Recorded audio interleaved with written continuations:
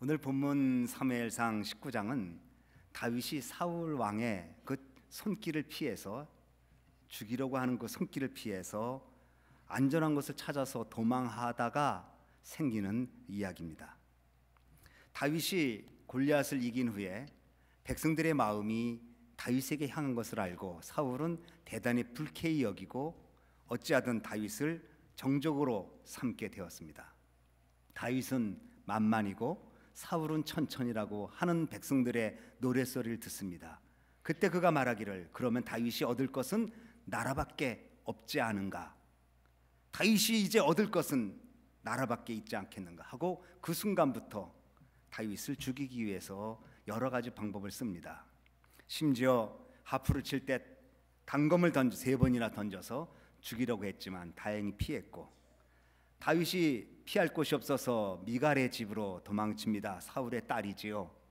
거기서 있는 것을 알고 사울이 군사를 풀어서 다윗을 추격할 때에 창문을 넘어서 도망을 치다가 사무엘이 있는 라마 나요시라는 곳으로 다윗이 도망가게 됩니다. 그리고 그곳에서 안식처를 얻고 피하게 됩니다.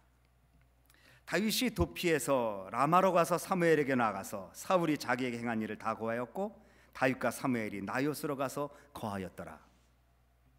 다윗이 사울의 그 죽음의 손길을 피해서 안전한 곳을 찾아 헤매는 이 모습은 오늘 우리의 실존의 모습을 보여주고 있습니다. 다윗이 안전한 곳을 찾기 위해서 라마나요스를 간 것처럼 오늘 예수 믿는 우리들 아니 모든 세상 사람들은 진정한 안식처인 라마나요스로 찾아가야 합니다. 라마나요스는 라마라는 말과 나요시라는 말이 합쳐졌습니다. 라마라는 말은 지극히 높은 분이라는 뜻이고 나요시라는 말은 존재한다는 뜻입니다. 지극히 높은 분이 존재하는 곳, 지극히 높으신 분이 계신 곳 교회, 아니면 주님 지극히 높으신 분 우리 주님 예수 그리스도 그분에게 나가는 것이 진정한 안식처를 찾게 되는 것이라는 것을 말씀합니다. 다윗은 이것저것을 방황할 수밖에 없는 나그네였습니다. 사실 다윗만이 아니고 오늘 든 인생도 나그네 길을 삽니다. 베드로전서 1장 1절에 우리를 가리켜서 흩어져 있는 나그네라고 그랬습니다. 베드로전서 1장 17절에는 너희가 나그네로 있을 때에 두려움으로 지내라고 말했습니다. 저는 이민 생활을 30년 하고 있습니다. 언제 세월이 갔는지 모르게 30년이 훌쩍 지났습니다. 고국에 뿌리를 내렸다가 그 뿌리를 뽑아서 새로운 곳으로 그리고 새로운 문화, 새로운 언어, 새로운 관습이 존재하는 그곳에 뿌리를 내리고 열매를 맺히며 산다는 것은 대단히 어려운 일입니다. 그래서 이민자의 삶이 쉽지 않습니다. 미국 생활이 화려해 보여도 사실은 고단하고 미국 생활이 번창해 보여도 사실은 어렵습니다. 특별히 이민자의 삶, 이민교회는 어렵습니다. 저희 교회 조집사님이라는 분이 계십니다. 이분이 미국 온 지 얼마 안 돼서 비즈니스를 하나 시작했는데 convenience 어, store였습니다. 이거 뭐냐면 잡화점입니다. 잡화점 이것저것 다 파는 거죠. 그래서 언어도 영어도 짧기 때문에 손님이 와서 요구하는 것을 제대로 주지도 못하고 어떨 땐 요금도 제대로 받지 못하는 그러한 일이 반복되면서 struggle을 하면서 이제 장사합니다. 그것도 점원들을 몇 명 구했는데 이 점원들도 영어도 약하고 어, 타국에서 왔던 그런 젊은 청년들이었습니다. 다 이민자들 구성된 조그만 가게였습니다. 근데 어느 날 아침 가게 문을 열고 짐을 물건을 정리하는데 아침에 강도가 들어왔습니다. 강도가 들어왔는데 총을 요 옷에 숨기고 점원에게 총만 보여줬습니다. 그러니까 점원은 이제 강도인 줄 알고 벌벌벌 떱니다. 그래서 주인인 우리 조 집사님에게 이렇게 말했습니다. He's lover. 러버라는 말은 강도라는 말입니다. thief가 다릅니다. 도둑과 강도는 의미가 다르지요. 강도는 뭐 무장을 가지고 와서 훔쳐가는 거고 도둑은 무장 없이 살짝 모르는 사이에 가져가는 거죠. 저 사람이 강도야 이렇게 말했는데 우리 조 집사님은 he loves you로 들었습니다. robber라는 말을. 그래도 짐 정리하다가 이분이 조금 어, 감정적인 분이거든요. 놓고 내려가서 이 사람에게 우리 조 집사님이 I love you 하고 안았습니다. 속에 총이 있는데 지금 물건을 강탈하러 왔는데 우리 조 집사님은 그거 모르고 해석을 I love you로 들었습니다. 그리고 robber라는 말을 love로 들은 거죠. 껴안았습니다. 그러니까 강도가 또 당황합니다. 어? 보통 같으면 벌벌 떨든지 다 가져가라 이렇게 이제 눈을 감고 있으면 알아서 갖고 갑니다. 그런데 강도가 놀래서 그냥 나가버렸습니다. 근데 점원이 깜짝 놀랐습니다. 정보 점원이 말합니다. 서투른 영어로 서로 서투르니까 통화하는 거죠. 강도야. 그 말 듣고 주집사님이 주저앉았습니다. 여러분 우리가 문화가 그리고 언어가 관습이 그리고 생활 패턴이 다르다는 것이 얼마나 그게 삶에 힘이 드는지 경험해 본 분들은 압니다. 제가 1996년 9월 1일 개척을 했습니다. 저희 집에서 다섯 분 성도님과 같이 개척을 했습니다. 집에서 개척하게 된 것은 교회당을 못 구했습니다. 한인들이 많은 좋은 지역은 이미 다 교회들이 들어가 있고 또 그렇지 않은 교회는 교회를 안 빌려주는 겁니다. 그래서 제가 40여 군데 편지를 써서 보냈습니다. 어떻게 교회를 빌려주세요. 나는 이러한 신학적 배경을 갖고 있고 우리 교단이 이렇습니다. 다 속에서 보냈는데 한 군데에서만 연락 왔습니다. 그게 20년 쓴 지금까지 쓴 교회입니다. 그 교회는 위치가 어, 여러분에게 설명하면 좀 어렵지만 어쨌든 한인들이 별로 살 거의 없습니다. 그리고 학군이 나쁩니다. 그리고 좀 이렇게 범죄가 많은 지역입니다. 그냥 한인들이 없죠. 거기에 이제 교회를 빌렸습니다. 오후 1시 반 예배였습니다. 시작이. 1시 반이면 여러분 아무것도 못 합니다. 일주일 내내 일한 분 이민자들이 와서 일찍 예배드리고 쉬어서 쉬면서 빨래도 하고 쇼핑도 하고 뭐 쉬어야 되는데 오후 예배니까 딱 중간에 걸리니까 이게 되게 어렵습니다. 근데 그 전에 이제 이사하기 전에 집에서 예배 드리고 있을 때 예배 개척하고 한 주 되는데 두 명 남자분이 등록을 했습니다. 한 명이 와도 좋은데 두 명이 왔으니 잠이 안 오는 겁니다. 너무 좋아서. 야, 두 분이 왔구나.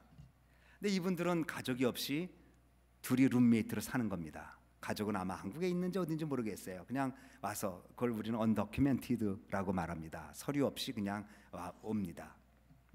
그래서 등록을 했으니까 저는 또 기쁘고 그런데 목요일인가 전화가 왔습니다. 그 두 분이 한 분은 미스터 황이라는 분이고 미스터 또 한 분은 제가 이름을 모르겠어요. 기억이 안 나는데 그분이 전화가 왔어요. 목사님, 미스터 황이 죽었습니다.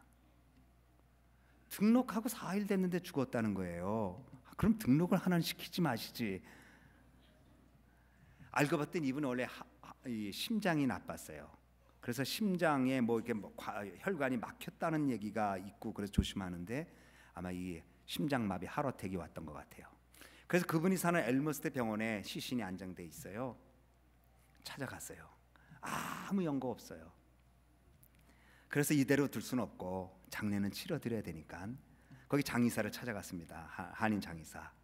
제가 목사고 이러이러한 형편이니까 어, 예배는 드리게 해주라고. 그 다음에는 CD에서 이제 그 시신을 처리할 거니까 예배는 그래도 드려야 되지 않냐. 우리 교회 등록교인이다. 근데 그분이 알겠습니다, 목사님. 그래서 예배를 이제 장례 예배를 토요일 날 드렸습니다. 그런데 어떻게 드렸냐면 보통 미국은 장례 예배 할때 한국과 달라서 시신을 보여줍니다. 관에 시신을 깨끗하게 화장하고 옷을 제일 평소에 입던 좋은 옷을 입히고 어, 이렇게 관에 뚜껑을 열어놓습니다. 그런 예배 드리고 이렇게 한번 보는 게 뷰잉이라고 그래요. 제가 30년 동안 314번 장례식을 참석했습니다. 9월 달에는 제가 한 주에 한 번씩 참석했습니다. 네 번. 그때 이제 그분은 시신이 없으니까 그분이 쓰던 유품을 가지고 옵니다. 그 옆에 룸메이트가 그 중에 하나 눈에 들어온 거 있습니다. CD였습니다. 당신은 C, 지금은 CD를 뭐 컴퓨터로 만들다든지 뭐 노래해서 만드는 게 쉽지만 당신 CD 만들기 쉽지가 않았습니다. 뭐 테이프 시대였으니까 테이프 시대. 근데 이분이 미국 와서 CD를 만든 거예요. 근데 이분이 아마 가수를 원했던 것 같아요. 노래를 잘했나 봐요. 그래서 가수를 원했는지 CD를 구워서 노래를 자기 노래를 갖고 있었던 거예요. 근데 그걸 틀었어요. 근데 그 중에 노래 하나가 이거였어요. My Way였어요. 근데 제가 잊지도 못해 그 가사를 한국말 부른 거 이제 영어로 부르고 한국말 불렀는데 이분이 나 이제 떠나야 할 시간이 다 됐는데. 어? 그리고 이제 그분 장례를 치러주고 결국 시신은 아, 시에서 처리했어요. 이민자의 삶, 나그네 삶입니다. 다윗 사울을 추격을 피해서 도망칩니다. 사울의 죽음의 손 피해서 도망칩니다. 인생은 이민자뿐만 아니라 여러분도 나그네입니다. 창세기 47장 9절에 야곱이 바로에게 고하되 내 나그네 길의 세월이 130년이다. 나의 연조가 얼마 되지 못하니 우리 조상 나그네 길의 세월에 미치지 못하나 험악한 세월을 보내었나이다. 야곱은 두 가지로 자기 인생을 얘기합니다. 하나는 나그네 길이다. 두 번째 험악했다. 여러분 우리 선조도 나그네 길이고 우리도 나그네 길을 갑니다. 언젠간 이 나그네 길이 끝날 때가 있는 정처 없는 삶입니다. 다윗도 가정을 떠나서 아내를 떠나서 도망을 치고 어디 머리를 둬야 될지 모르는 방랑자요, 도망자요, 그리고 나그네 길을 걸었습니다. 인생을 가리켜서 소가 외주를 타는 것 같은 거라고 말했습니다. 소우자에다 일날일자니까. 소가 외주를 탈 수 있을까요? 얼마나 힘들겠어요. 탄들 밸런스 잡는 게 얼마나 어려워요. 인생의 어려운 구자 하나는 밸런스입니다. 이 말을 들어야 될지 저 말을 들어야 될지 앞으로 가야 될지 뒤로 가야 될지 차라리 돌아가야 될지 이거 판단 어렵습니다. 찬송가 469장 가사에 이 땅 위에 험한 길 가는 동안 참된 평화 어디 있나? 그대 살아서 예수를 친구 삼아 참 평안을 누리겠네. 다윗 라마나요에 가서 안식을 얻습니다. 우리 나그네 길 같은 인생을 살아간 우리들 라마나요 대신 예수 그리스도 그분에게 가서 참 평안과 안식을 얻기를 바랍니다. 현대인들이 안식을 느끼는 것이 네 가지가 있다고 합니다. 첫째는 물질입니다. 이상하게 물질은 있으면 정말 안심이 돼요. 여러분 다 아시잖아요. 물질이 없으면 이상하게 안심이 별로 안 돼요. 오늘 뱅크에 세이빙에 돈이 넉넉하면 그날 자는데 지장이 없는데 뱅크에 세이빙에 돈이 달랑달랑하고 발란 이거 뭐죠 이거 어, 발행한 체크 발행한 건 많은데 언제 이게 돌아올지 모르면 밤잠 못 잡니다. 그래서 그러다가 돈이 생기면 이상하게 마음이 편안해집니다. 돈이라는 게 이상합니다. 없을 땐 불안한데 있으면 그 불안이 언젠가 모르게 사라집니다. 남자는 돈이 없으면 어깨가 처지고 여자는 돈이 없으면 수다가 많아진다고 합니다.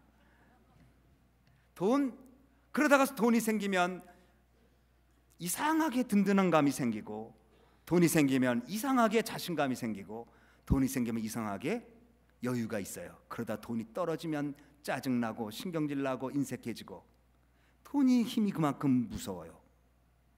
그 경험입니다.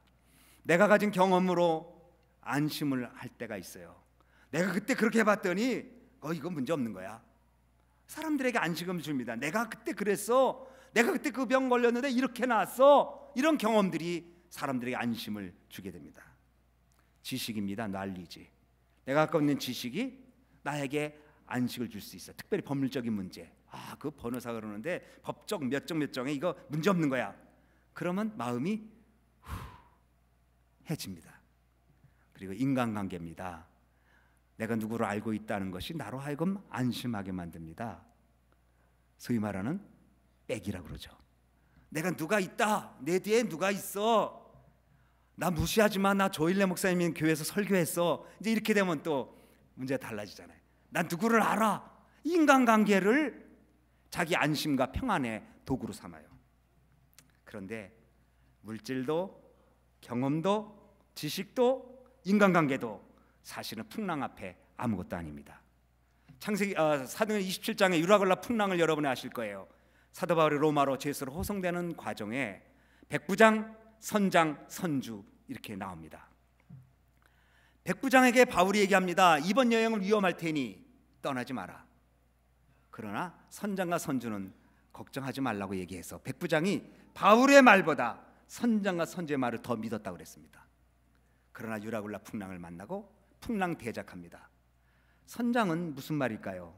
테크놀라지의 하이테크의 말입니다. 선장은 기술을 가지고 배의 모든 것을 알아서 배를 운영하는 사람입니다.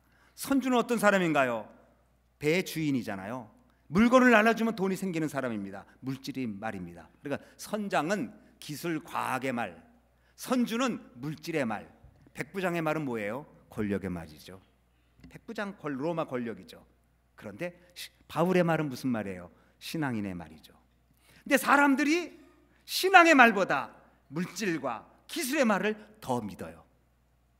풍랑의 원인이 거기 있었어요. 풍랑을 치니까 선장은 자기 손으로 배의 기구들을 뜯어서 버렸다고 그랬어요. 창세기 사도행 27장에 보세요. 선주는 자기가 날라야 될 물건들을 버렸다고 그랬어요 바다에. 얼마나 아이러니까 자기가 가장 소중히 여기는 것을 자기가 가장 믿는 것을 자기 손으로 버려야 돼요. 자기가 가장 추구하는 것을 자기 손으로 버려야 돼요.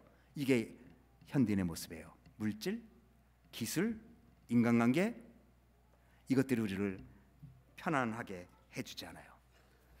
라마 나요스로만 갈 때 평안이 있는 줄 믿으시기 바랍니다. 다윗은 또한 두려움을 가지고 사울을 피해서 라마네스로 갔습니다. 인생은 가르켜서 두려움의 존재라고 말합니다.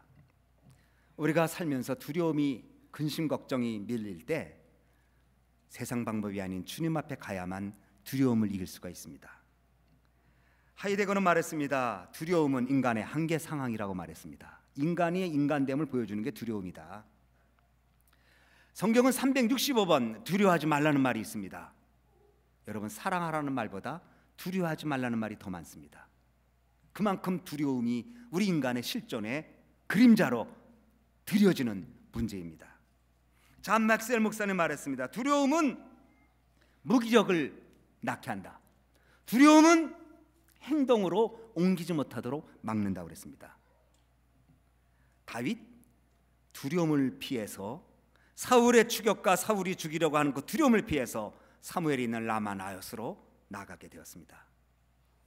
죽음의 두려움, 미래에 대한 두려움, 실패에 대한 두려움, 사업에 대한 두려움, 자녀들의 앞날에 대한 두려움, 질병에 대한 두려움이 사실 우리들 마음속에 깊이 들여져 있습니다.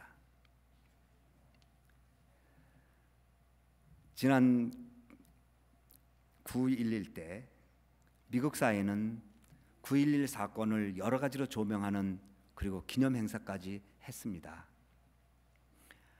2001년도 9월 11일 날 맨하탄에 있는 트윈 빌딩이 비행기가 치고 또 펜타곤과 또 필라델피아 쪽에 비행기가 떨어지고 미국이 기습당한 날로 여겨지는 날이었습니다. 진주만 폭격 이후에 두 번째 미국 본토가 공격을 당했다고 합니다. 여러분은 당시 아마 한국에 계셨을 겁니다. 저는 뉴욕에 있었습니다. 그 당시 방송과 그 당시 그 맨하탄을 중심으로 해서 얼마나 긴박하게 돌아갔는지를 저는 지금도 잊지 않습니다. 그 매콤한 연기가 그온 퀸스 지역과 맨하탄 지역, 브롱스 지역을 뒤엎었습니다. 저희 집사님은 걸어서 걸어서 집으로 가는데 권사님은 그래가지고 병이 나셨습니다. 전화 안 돼, 교통 다 두절되고 그 긴박한 두려움이 모든 항공을 일시로 아무 비행기도 뜨지 못했습니다. 일주일간. 그런데 방송이 이것을 조명했습니다. 9/11이 미국 사회를 어떻게 바꿨는가? 결론은 이겼습니다. 두려움이 시스템화된 바뀜이었다. 두려움이 단순히 마음의 두려움이 아니라 시스템으로 바뀌었다는 거예요. 쉬운 예로 여러분 비행장에 가면 과거에 신발 벗은 적 있습니까? 과거에 웃돌이 다 벗고 다 손으로 뭐 물건 있는지 체크한 적 있습니까? 혁띠 벗고 들어간 적 있습니까? 그리고 손을 벌려서 한 바퀴 도는 그 검사대를 통과한 적 있습니까? 없었어요. 9/11 이후에 모든 시스템이 두려움이 정착되는 시스템으로 바뀌었습니다. 두려움을 극복하는 방법의 시스템으로 바뀌었던 거죠. 이민법, 경기, 경제, 정치, 사회, 그리고 국제사회의 관계성 이 모든 것들이 두려움의 시스템화로 바뀐 게 9/11 사건입니다. 여러분 두려움은 우리를 무기력하게 만듭니다. 근심 걱정이 나를 공격하면 여러분은 신앙이 흔들리게 됩니다. 이거 어떻게 이거 어떻게 이거 어떻게 발동동 굴르다가 믿음 잃어버릴 때가 있습니다. 저는 교회를 개척하고 이제 루트란 교회를 빌렸어요. 루트란 교회를 빌려서 아, 지지난 주까지 썼어요. 그리고 저희가 교회를 줘서 이사를 했는데 지난 주일날 그래서 어, 봉헌식을 하고 제가 월요일 날 서울에 와서 서울신학대학교 대학원 부흥회를 인도했어요. 그 20년 쓴 교회인데 교회 빌릴 때 조건이 주일만 쓰는 겁니다. 오후 1시 반 아까 말씀드린 대로. 아 근데 새벽 예배를 해야 되잖아요. 새벽 기도를 해야 되잖아요. 근데 허락을 안 해요. 그래도 미국은 아무 데서나 예배 드리면 또 동네 사람이 이거 리포트하면 복잡해요. 여기도 이제 그렇게 되겠지만 그래서 어떻게 그래서 미국 목사님한테 허락을 이렇게 받았습니다. 내가 불도 안 킨다. 소리도 안 낸다. 다만 교인들도 어, 안 오게 하겠다. 나랑 우리 집사람 아니면 나만 하게 허락해 달라. 근데 사택이 보통 미국 교회는 옆에 있어요. 이 교회가 있고 사택이 있어요. 그러니까 불빛만 나도 다 알아요. 허락을 받았어요. 그래서 허락받은 날 새벽에 이제 교회 가는 거예요. 그때 거기 저희가 있었던 교회는 낙후됐어요. 지금도 그렇지만 가로등도 희미하고 어떨 땐 가로등 전체가 안 나와요. 근데 여러분 그 11월 달에 여러분 어, 미국의 명절이 하나 있습니다. 10월 마지막 날이군요. 할로윈데이 아셔요, 여러분? 온갖 귀신 노름이죠. 여기는 어떻게 노는지 모르는데 아 그거 정말 힘들어요. 막 어, TV에서는 귀신 영화만 매일 하고요. 무서운 것만 하고 온통 뭐 그런 두려움에 대한 공포를 조장하는 일들로 가득해요. 근데 새벽에 불도 컴컴한데 새벽 이제 다시 반에 들어가야 되냐 예배당에. 들어가서 제일 뒤에 앉아서 기도하거든요. 제일 뒤에 캄캄한데 뭐 근데 루터란 교회가 뭐 이것저것 뭐 많아요. 그림도 있고 뭐 형상도 있고 뒤에 앉아서 기도하고 이렇게 갔는데 그 다음 남 다음 날인가 목사님이 그래요. 저보고 그 앞에 있는 관을 봤니에요. 뭐요? 관. 관. 그렇죠. 제가 겁이 많은 사람이거든요, 여러분. 전 관.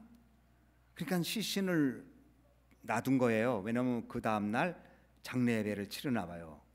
시신을 앞에 놨는데 깜깜하니까 제가 안 보였고 나는 모르니까 또 담대했고 그래서 뒤에 앉아서 또 그날따라 길게 기도했어요. 그런데 관을 받느냐 하는 말 듣고 나서 그 다음날 새벽 기도에 혼자 캄캄한테 가는데 문이 안 열렸어요. 솔직하게 떨려서 제가 목사니까 뚫고 들어갔어요. 그런 경험이 한 세 번 정도 있어요. 이상한 두려움이 팍 오는데 평소와 다르게 갑자기 들어가기가 두려운 거예요. 문을 열고 뭐가 있는 것 같고 뭐가 나올 것 같고 그런데 제가 뒤로 물러가면 지잖아요. 그래서 떨면서 문을 열고 들어가는데 그 다음부터 제 습관이 하나 생겼어요. 교회 한 바퀴 돌고 들어가요. 있으면 도망가려고. 두려움은 사람을 무능력하게 만들어요. 두려움은 사람을 힘을 상실하게 만들어요. 그래서 예수님이 두려워하지 말라고 말했어요. 부활하신 주님이 모여 있는 제자들에게 두 말씀하셨어요. 너에게 평강이 있을지어다. 그 다음에 성령 받으라. 요한복 20장 보세요. 두려움이 얼마나 거기 보면 제자들이 두, 유대인을 두려워하여 은희하더니라는 말을 썼어요. 제자들이 두려워서 은희하고 문을 닫았다고 그랬어요. 근데 부활의 주님이 찾아오셔서 두려워하지 말라는 말씀 평강 있을지어다. 우리는 두려움이 우리의 삶을 공격할 때 라마나 대신 주님을 찾아가야 됩니다. 이거 안 되면 안 되는데 하나님 이 병 낫지 않으면 안 되는데 하나님 질병에 대한 두려움도 사업에 대한 두려움도 물질에 대한 두려움도 삶의 여러 일들의 두려움이 근심 걱정이 우리에게 닥칠 때 라마나 대신 주님을 찾아가 안심과 평강을 누리는 여러분 되어지기를 바랍니다. 사울이 다윗이 라마나에서 있다는 말 듣고 군사를 보냅니다. 첫 번째 조를 보냈는데 올라가다가 이 친구들이 성령이 임하니까 무장한 무기를 다 내려놓고 하나님의 말씀을 말합니다. 예언했다는 말을 썼는데 이 말은 하나님 말씀을 했다는 거예요. 뭐 미래를 퍼춘 텔러처럼 얘기한 게 아니라 하나님 말씀을 했어요. 안 내려오는 거예요. 칼창 다 내려놓고 뭐 하나님 말씀 얘기하고 좋아서 난리가 됐어요. 두 번째 조를 또 보냅니다. 너희들 가서 다윗 잘 잡아와 칼창 밧줄 잘 가지고 가 올라갑니다. 이 친구들이 또 성령이 많으니까 또 내려놓습니다. 칼창 밧줄 그리고 또 하나님 말씀 얘기합니다. 안 내려와요. 세 번째 조를 또 보냅니다. 칼창 포 포박칼 밧줄 그런데 또 하나님의 영이 임하니까 그거 다 내려놓고 하나님 말씀 얘기합니다. 아 세 조가 갔는데 안 내려오니까 사울이 직접 올라갑니다. 칼창 가지고 다윗 이번엔 잡아서 죽이리라. 올라가다가 성령이 맙니다. 칼창 내려놓고 웃도리도 다 벗고 무장한 옷을 벗고 누워서 하나님의 말씀을 했다 그랬어요. 라마나에스로 가는 사람은 성령을 받습니다. 우리 주님 예수 그리스도에게 나가서 성령 충만함을 달라고 기도하면 우리 주님께서 우리에게 성령을 주시는 줄 믿으시기 바랍니다. 내가 떠나는 것이 너에게 유익이라 내가 가면 너에게 성령이 말이라 부에서 성령이 성령 충만하게 되는 것입니다. 성령이 임하면 무장을 버리는 겁니다. 성령이 임하면 방언다고 예언다고 은사도 받는 거지만 성령이 임하면 내 마음에 있는 무거운 미움의 칼들, 증오의 칼들, 적개심의 칼들을 내려놓고 하나님의 말을 하는 것이 성령이 임하는 것입니다. 여러분이 성령 충만한 증거를 무엇으로 합니까? 내 마음에 사랑이 있는가? 여러분이 성령 충만한 것을 무엇으로 합니까? 미움이 사라졌는가? 성령 충만한 증거가 무엇으로 합니까? 적개심이 사라졌는가? 여러분 성령 충만은 내 속에 있는 칼과 창을 내려놓게 합니다. 내 속에 있는 증오를 내려놓게 합니다. 관계성 속에서 생긴 여러 가지 증오의 칼들이 내려놓게 되는 겁니다. 성령 충만하면 하나님의 음성에 순종해서 하나님 원하는 길을 찾아가게 되는 것. 하나님 말씀을 대언했다고 그랬습니다. 저희 교회에 이종범 선교사님이 계십니다. 저는 이제 이민교회를 하고 특별히 젊은 우리 2세들에 대한 관심을 갖고 목회를 해왔습니다. 그래서 영어권이죠. 거기 저희 교회 청년은 한국말을 거의 다 쓰는 청년보다 영어 청년입니다. 다 영어로 합니다. 물론 한국말도 하지만 모든 예배가 다 영어로 합니다. 그래서 EM과 KM으로 나눠져 있습니다. English Ministry, Korean Ministry. 그래서 저는 Korean Ministry를 하고 English Ministry는 저희 전도사님들이 몇 분 계십니다. 그분들이 맡아서 도와줍니다. 근데 제가 EM과 KM을 분류해서는 안 된다 생각하고 항상 같이 하는 게 있습니다. 물론 예배도 같이 할 때도 있지만 선교를 같이 갑니다. 저희 교회는 교회를 시작할 때 선교 명령에 순종하는 교회가 되자고 시작하고 첫날 저희 집에서 모여서 예배드리는 헌금일 그대로 선교지에 보냈습니다. 그래서 선교 명령에 순종하자 우리 가진 형편에서 그래서 멕시코로도 4년 그리고 멕시코의 지교회도 지었죠. 우리는 교회 없었는데도 지었어요. 그리고 어, 우즈베키스탄이나 또 아니면 어, 이런 곳도 우리 선교 젊은 팀들을 보냈어요. 그러다가 아, 다시 이번에 우리 선교팀을 꾸려서 가야 되겠다 생각하고 몇 년 전부터 우리 선교팀을 꾸려서 가게 됐습니다. 도미니카, 하이티, 어, 작년에는 쿠바를 갔어요. 쿠바를 갔는데 정말 아름다워요 쿠바가. 그런데 건물은 다 썩었어요. 돈이 없으니까 그대로 건물을 놔둬가지고 건물이 다 부서질 것 같아요. 그래서 그거를 이제 수리 좀 하고 있어요. 지금 이제 개방이 됐으니까 미국에서 일주일에 40편이 가요. 쿠바로 하바나로. 쿠바 얘기는 또 나중에 할 기회가 있으면 하겠습니다만. 근데 올해는 저희가 과테말라를 갔어요. 이제 과테말라를 집중적으로 할 생각인데 그 이유는 거기에 이종범 선교사님이라고 계셔요. 그 과테말라는 우리 교단 선교사님이 안 계십니다. 조성철 선교사님 계셨다가 멕시코 맥성신학교 교장으로 가시고 과테말라는 한 명도 없습니다. 그런데 우리 이정봉 선교사님이 어, 우리 미주 선교교단 소속이 있지만 유일하게 지금 가 있어요. 이분은 뭘 하냐면 학교 사역을 합니다. 학교에서 애들에게 가르치는데 특별히 이분이 오하이오 공과대학원을 나왔어요. 어, 공, 어, 한국에서 공대를 나오고 그래서 코넬 대학교에 있는 이타카에서 연구원으로 일하다가 뉴욕으로 오시고 그래서 이제 어, 또 우리 미주에 있는 신학교를 나오고 어, 선교사로 헌신하셨는데 나이가 69세셔요. 69세. 그 많으시죠. 그런데 올해 이제 그분과 같이 에, 우리 후원하고 파송하니 했으니까 가서 학교 사역을 했어요. 중학교를 들리는 거죠. 거기 시스템은 낮에는 국민학교 가고 한 건물을 오후에는 중학교가 해요.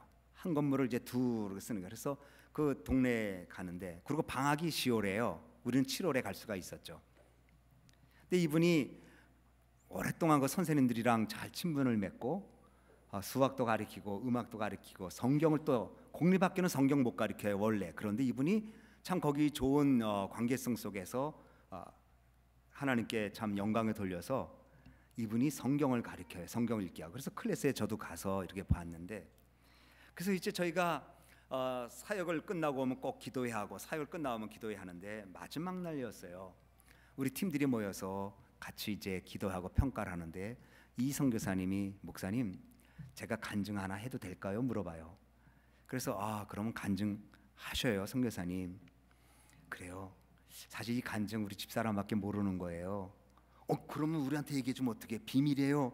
비밀은 아니고 아 참 말하기는 부끄럽지만 제 마음에 이 간증을 우리 EM 청년들에게 해야 되겠다는 생각이 들어서 하겠어요. 하세요.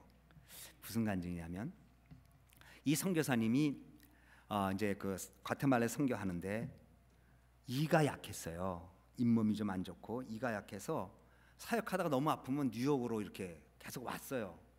그러니까 자기 마음에 아니 선교사가 선교를 하다가 이 아프다고 한 번 가면 이게 또 작은 거리가 아니잖아요. 가면 또 치료받는 과정이 오래 걸리고 또 가면 또 사역이 중간에 끊기는 것 같고 그래서 마음에 이러면 안 되는데 그래도 이 치통이 얼마나 아픈지 여러분 아시잖아요. 너무 아프면 뭐 어떡할 수 없어서 거기서 치료되는 것도 어렵고 다시 이제 뉴욕으로 오니까 하나님 저를 좀 고쳐 주세요. 이렇게 기도했어요. 근데 하나님이 딱 고쳐 주셨으면 제가 설교할 때 지금 힘이 날 텐데 그냥 그대로였어요. 그래서 아픈 일을 이제 퉁퉁 부는 거죠. 막 붓고 이래서 쩔쩔매면서 이제 사역하고 또 집에 오고 그런데 마음에 안 되겠다. 내가 어떤 방법을 세워야지. 이제 이런 생각이 들었어요. 그래서 기도하는데 성령께서 하나님께서 생각으로 이렇게 음성을 막 들린 게 아니라 생각으로 이런 생각이 떠오르더래요. 내가 과테말라에 와서 너의 음악 재능을 들였다. 그렇죠. 음악을 잘하니 음악 재능을 들여서 지금 가르치고 있다. 내가 지금 내가 수학을 잘하니까 수학 재능을 가지고 지금 이 중학교 애들에게 수학을 가르치고 있지. 예. 그래. 그럼 이번에 너 일을 드려라. 뭘 드려라? 음악 재능을 드리고 수학 재능을 드렸는데 일을 드리라는 생각이 드는 거예요. 하나님, 일을 드려요? 이런 마음이 스스로 아, 일을 빼자는 거예요. 그런데 아픈 일을 빼는 게 아니라 생리를 다 빼는 거예요. 하나님 내 나이가 69세입니다. 내가 주님 앞에 이몸 드려서 영광을 돌려야 되는데 이 하나 못 드리겠습니까? 이런 생각이 들더래요. 그래서 뉴욕으로 왔어요. 사모님한테 얘기도 안 하고 치과에 갔어요. 치과에 갔더니 닥터가 아니 선교사님 지금 임플란트를 해도 시원찮은데 빼라뇨. 전 못 뺍니다. 이분이 뭐 신비적이거나 뭐 이상한 사람이 아니에요. 뭐 지성적이고 그리고 굉장히 논리적인 분이고 신앙도 참 바른 신앙인데 그러니까 이제 아니다 좀 빼주셔요. 이거 다 빼주셔 그랬대. 그랬더니 안 됩니다. 뺄 수도 없고 생리를 그래 빼는 적이 없습니다. 가세요. 근데 그분 날또 갔대요. 다음 날. 나 빼줘야 내가 선교할 수 있어. 그러니까 닥터가 그러면 못 이긴 거죠. 다 뺄 수 없다. 이게 나 시간을 정해서 빼겠다. 여기 빼고 여기 빼고 이렇게 다 빼서. 그래서 허락을 받고 아픈 이도 뺐지만 생리를 뽑기 시작했대요. 그분 표현이에요. 그런데 누워 있는데 부분 마취예요. 전신 마취가 아니고 빼는 소리를 듣는데 딱 여러분 그 이 정으로 빼요. 제가 우리 어, 저희가 치과 의사 선생님 계셔가지고 어, 성교지 가면 이 빼는 것밖에 못 하니까 빼는 게 쉬울 것 같지만 그거 어렵거든요. 뿌리가 깊이 박혀 이렇게 누워 있거나 이러면 정으로 때리면 딱딱 소리도 나고 뭐 이분이 누워 있는데 딱뭐 이런 소리를 듣는데 눈물이 나기 시작하더래요. 아, 하나님, 제가 살면서 하나님 앞에 드린 게 없는데 이제 나이 들어서 예수님 믿고 철들어서 과테말라 가서 신앙 재능 드린다고 음악 재능 드린다고 그러고 수학을 제가 좀 하니까 수학 재능 드린다고 했는데 온몸을 드리는 것도 아니고 내가 일을 드릴 수 있어서 감사합니다. 하면서 눈물이 나더래요. 딱 누워 있는데 치료를 받는데 그 일을 다 뺐어 한달 동안 틀니로 다 꼈어요. 그리고 과테말라 갔어요. 뺀 지 3년 되는데 지금까지 한 번도 아픈 적이 없 아플 수가 없죠. 아픈 적이 없어서 사역하는데 너무 감사하다는 말을 이제 과테말라 선교 마치고 내일은 우리가 이제 뉴욕으로 가야 되는데 거기 있는 EM 청년들한테 이분이 얘기를 하는데 애들이 통곡하고 울었어요. 하나님, 저분은 생리라도 뽑아서 주님이 기뻐하는 일을 하면 드리겠다고 하는데 우리는 아무것도 안 했군요. 여러분 우리가 예수님 믿고 예수님 나를 위해서 돌아가셨다는 것을 알면서도 우리는 주를 위해서 드리는 게 사실 없어요. 조금만 나에게 부탁하면 조금만 나에게 부정 답답하고 내게 걸리는 거 있으면 우리는 그거 견디지 못해요. 주님 우리 위해서 십자가에서 물과 피를 다 쏟아 주었다고 말하면서 정작 너 나 위해서 무엇 할까 물어보시면 아무것도 못하는 게 우리 아니겠어요. 우리 이 성교사님이 이번 금요일 날 갔어요. 그래서 저한테 카톡을 보냈어요. 목사님 잘 과테말라 도착했습니다. 하나님 살아계십니다. 순종이 제사보다 낫다고 그랬어요. 제사는 많이 드리는데 순종은 많이 못해요. 그래서 순종이 제사보다 나은 거예요. 제사는 많이 드리는데 하나님 원하는 순종은 그 잘못해요. 성령을 받으면 내 미움의 칼을 내려놓는 거예요. 성령을 받으면 내 마음에 묶었던 동아줄을 끌어놓는 거예요.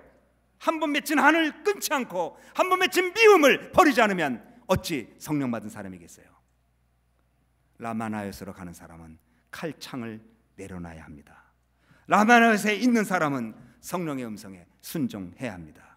라마나요스에 있는 사람은 하나님을 기쁘게 하는 순종의 사람으로 걸어가야 합니다. 마지막으로 라마나요스는 기도가 응답되는 것입니다.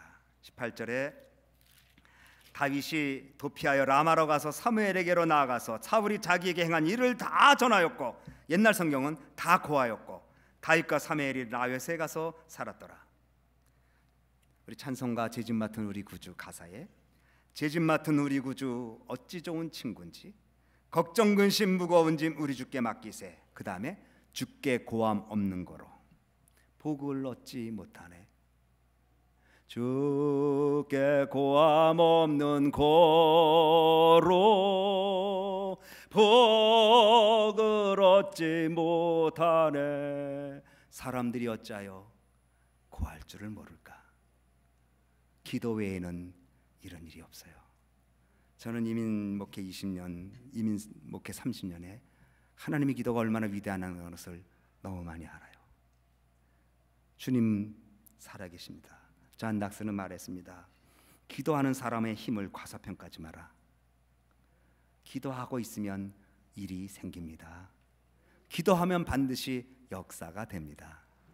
제가 1, 2부 때는 얘기 안 했는데 제가 신학대학원에 부흥하게 된 것 제가 1977년도에 신학대학 들어갔을 때 신학대학에서 부흥회를 해요 매년 그해 누가 왔냐면 이만신 목사님 오셨어요 돌아가신 이만신 목사님이 지금은 요번에 갔더니 뭐 밴드가 있고 뭐 찬양팀이 막 하는데 그 당시 유일한 악기는 북이었어요 우리 조일래 목사님 아실 거예요 북 쳤어요 대학원 앞에서 쿵북 치고 손뼉 치면서 그리고 이제 찬송가 이제 반주 있으면서 그렇게 은혜 받았어요 근데 마음에 하나님 저도 나중에 목사가 되면 신학대학 부흥에 좀 인도하게 해주세요. 그렇게 기도했어요. 철이 없었던 거죠. 아니면 철이 있었는지 모르겠어요. 그리고 잊어버렸어요. 정말 그렇게 간절히 기도했어요. 하나님 제가 우리 교단에서 평생 목회할 텐데 신학생들에게 목회를 얘기할 수 있는 부흥회를 한번 할 수 있게 해달라고 그렇게 기도했었어요. 그런데 40년이 지나서 했어요. 꿈은 이루어진다. 제가 깜짝 놀랐어요. 노세영 총장이 전화 왔어요. 황 목사님 부흥회 좀 인도해 달라고. 이야 이상하다. 제가 올해 참 자랑 아니고 축복이요. 총회장 됐죠. 교회 봉헌했죠. 서울신대 대학원 부흥회 인도했죠. 여러분 앞에 섰죠. 이럴 때는 아멘 좀 하세요.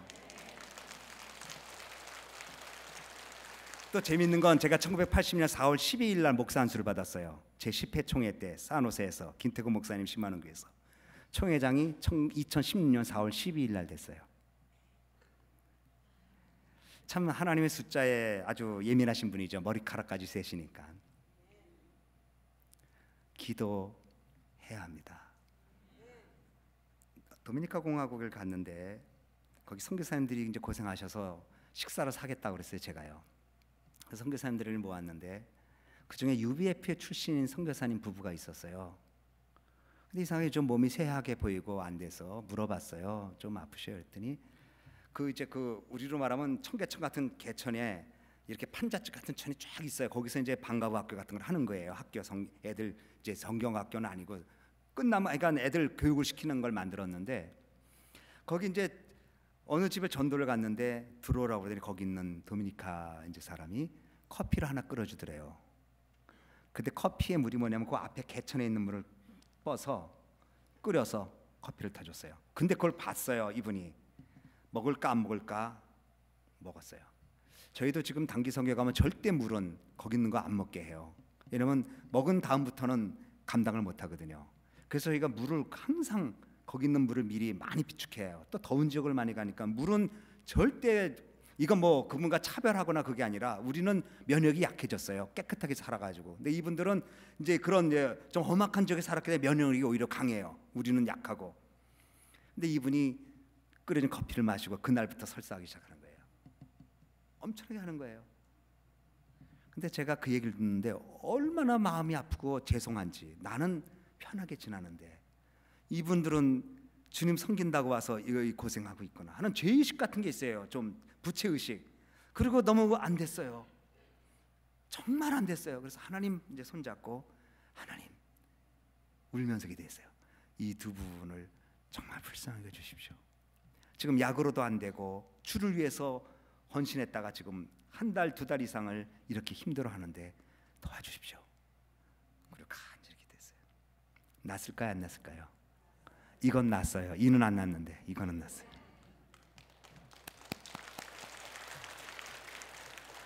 그래서 그분이 목사님 난 능력이 없는데 단지 하나 국률의 마음. 예수님이 국률을 여기셨다고 그랬어요. 국률이라는 말은 그 헬라어로 이게 자궁이라는 말이에요.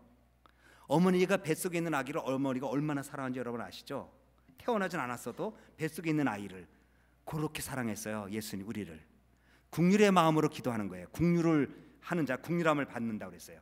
그래서 국률의 마음으로 기도하면 중보 기도가 가장 응답받는 비결 중에 하나는 국률의 마음이래요. 너무 안 됐다.